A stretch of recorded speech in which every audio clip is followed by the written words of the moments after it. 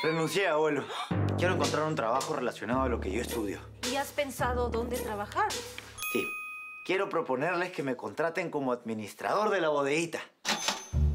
Algunos harán cambios en su vida para bien. No entiendo. Primero me avergüenzan en todas las redes sociales y luego hacen que me voten de colegio. Pero otros tendrán cambios en su vida para mal. Cualquier colegio que valga la pena no la va a aceptar a estas alturas del año. Corremos el riesgo de que Maripaz no se gradúe y no pueda postular a la universidad. ¡Ya sé! ¿Y si le educamos en casa para que no se atrase?